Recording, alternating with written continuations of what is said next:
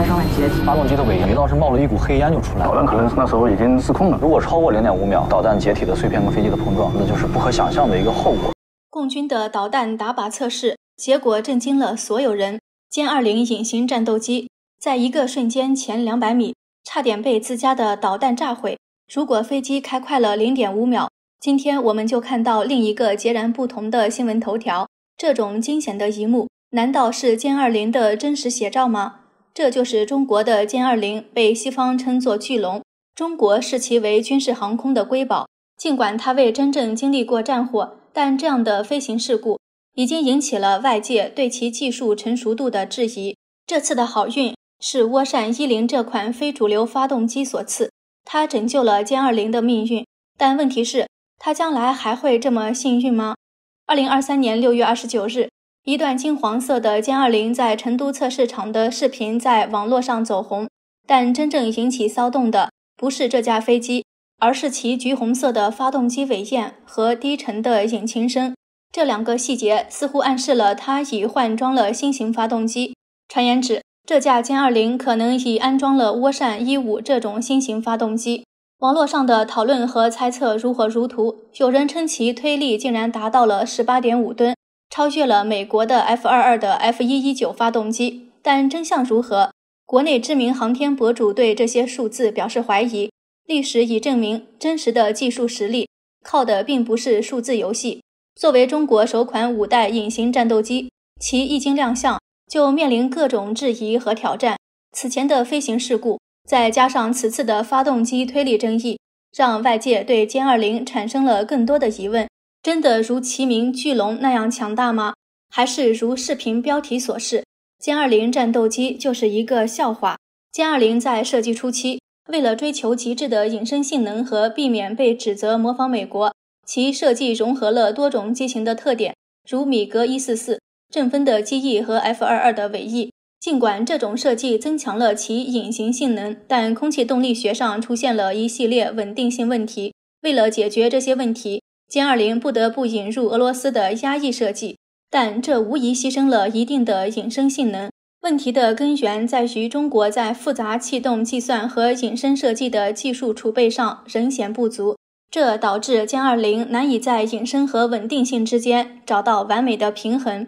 前美国空军参谋长戴维·戈德费恩认为，歼二零的隐身技术相当于 F 一一七，更像是第一代隐身水平。同时，对中国航空技术进展有深入了解的专家安德烈亚斯·卢普雷希特指出，歼二零要想真正与 F 二二和 F 三五匹敌，还需要一段时间。在一个实战演练中。尽管歼二零试图展现其隐身能力，在战场上空穿越，却被地面的九九式双三十五毫米牵引高射炮成功锁定，这明显对其所宣称的隐身性能提出了质疑。再来看涡扇一五发动机，其喷嘴并没有采用凹入设计，这意味着其在热冷却技术上还存在问题。这样的设计使得歼二零容易成为红外导弹的目标，大大降低了其在空中的生存概率。花费如此巨大的资源和时间，结果却是容易被导弹锁定和击落，这无疑是对资源的一种浪费。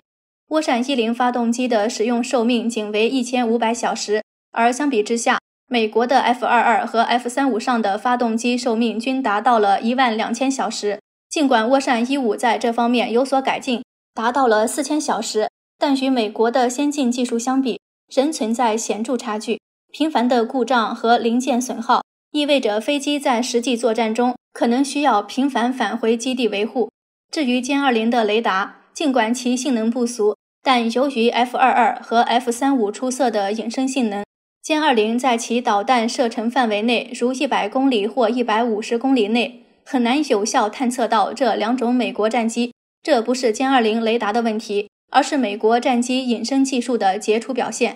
最近流传的传闻中提到，涡扇一五的加力推力达到了惊人的十八点五吨，这甚至超出了美国 F 二二的 F 一一九发动机的十八吨推力。然而，国内的知名航天博主对这些数字持怀疑态度，认为这些网络数据可能存在夸张。如果涡扇一五真的具有如此高的推力，那么其核心部件，如压气机和燃烧室的尺寸，可能超出目前的尺寸。值得注意的是，十八点五吨的推力数据可能来自三种不同的测试环境：地面台架测试、地面装机测试和高空飞行中的测试。根据中共过去的习惯，常常报告最优的数值。很可能这十八点五吨的数据就是在高空飞行中得出的。相较之下，美国由于其法规要求，一般都会公布更为保守的数据，以防制造商因为数据不实而面临诉讼。因此。F119 发动机的十八吨推力很有可能是地面测试的结果。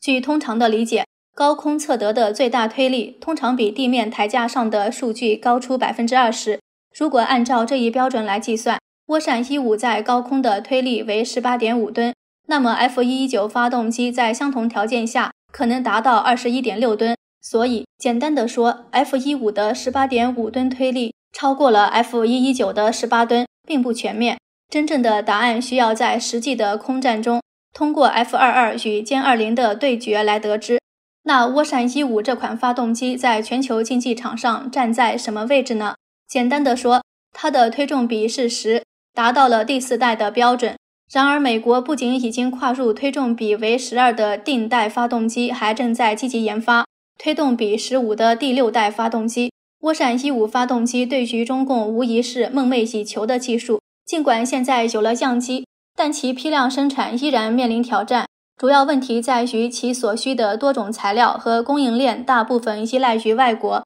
而国外对这些核心技术材料实施了出口限制。以台湾为例，尽管能生产某些发动机部件，但对于发动机尾部这样需要承受极高温度和压力的区域，其关键材料和技术依然需要依赖美国。同时，中国从俄罗斯购买的苏二七或苏三五等战机，在发动机部分也显示了技术保护措施，明显的是对后半部分进行了封闭处理，以防技术被拆解研究。发动机的核心部件，尤其是尾部，需要承受高达三千摄氏度的温度和十倍大气压。制造这种材料需要保持单晶状态，一旦出现多晶态，其韧性会大大降低，导致脆断。在制造过程中，例如切割叶片，部分地方的厚度与胳膊肘相当，而有的地方则与指甲盖类似。此种精细的加工需要使用高精度的六轴数控机床，同时保证材料在加工过程中不会碎裂。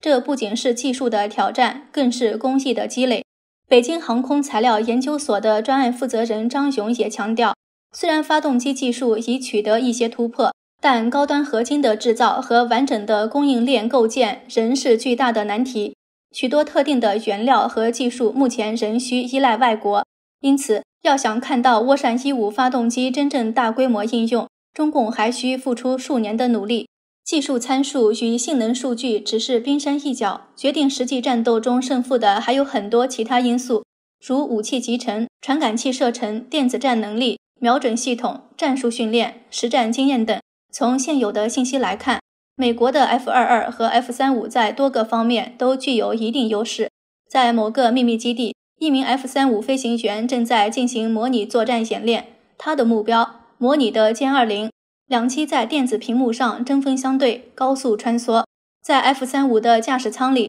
飞行员的头盔显示清晰的信息流，来自机身各处的传感器，这让他仿佛具有了第六感，知道自己。甚至其他友军在战场上的每一个动作，对于他来说，面对任何对手都仿佛手到擒来。突然，歼二零发起进攻，他释放了四枚导弹，但 F 三五飞行员并不慌张，因为他的武器槽里装载了更多的导弹，足以应对任何威胁。而且他知道自己的机身上装备了一套先进的防御系统，能在瞬间发现被锁定的导弹，并立即做出反应。在这模拟的交战中，M 三五飞行员还接受了 MQ 二五黄貂鱼的加油支援，确保了自己在长时间的空战中不会因油料短缺而陷入被动。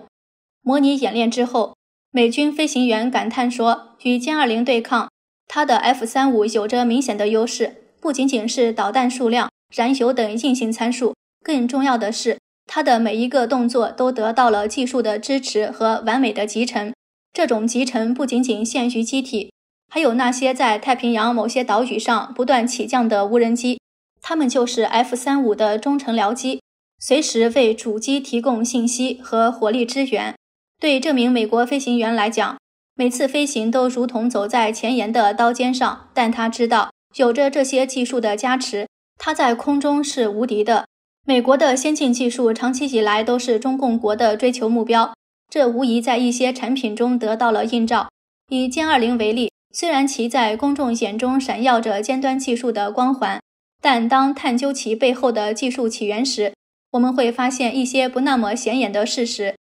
歼二零的总设计师杨伟并没有避其谈，他坦言地承认，在歼二零的设计和开发过程中，确实受到了美国高端技术的深刻启发。一九九九年科索沃战争中的一个意外事件，为中国提供了难得的技术机会。北约的 F 一一七在战斗中被击落，其珍贵的残骸逐渐吸引了各方的目光。中国利用与塞尔维亚和俄罗斯的关系，成功获得了部分残骸，深入研究其中的隐形涂料技术，融合到了歼二零的设计中。中国对于从残骸中寻找技术这一策略可谓驾轻就熟。越南战争中，只要美军的飞机在战场上遭遇不幸，中国就不会错过这一搜集残骸的机会，期望从中解析出技术秘密。不仅在越南战争。几乎在美国涉及的每一场冲突中，中国都会采取各种方法获得飞机的残骸碎片。根据杨伟的说法，从五十年代至今，中国已经积累了超过四万片飞机残骸，并成功逆向分析出约三百项关键技术。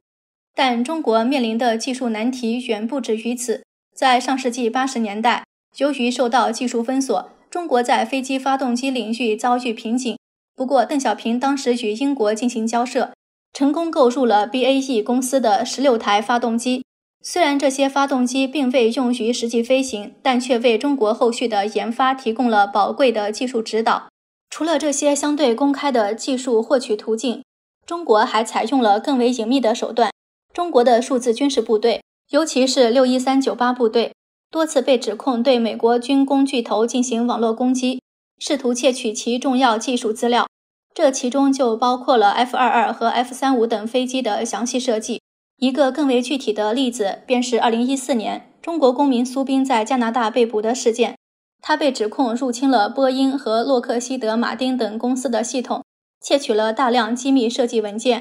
由于中国在飞机设计方面总是参考吸收其他国家的经验。就在某种程度上，可能导致了对歼二零在实际战场应用和策略的定位上缺乏前瞻性和深入的思考。歼二零在最初的设计蓝图中被视为一种多功能战斗机，一个全面而平衡的战斗平台。然而，随着时间的推移，有关其可能的转变为专门的空优战斗机的讨论也浮现出来。这种定位的模糊性在实际的装备配置中得到体现。作为多功能战斗机，它的武器挂载量似乎不尽人意；而如果将其看作是纯粹的空优战斗机，其隐形技术和性能又似乎不尽如人意。此外，歼二零要想完全搭载涡扇一五发动机，预计还需三到五年的时间。考虑到这一时间框架，美国的 B 二一轰炸机和下一代战斗机 NGID 可能已经完成研发并进入实际部署阶段。鉴于此，中国空军必须对歼二零的战术和战略定位进行深入反思，并制定策略，以确保充分发挥其设计上的优势，而不仅仅是为了与美军的五代机进行技术和战术的竞争。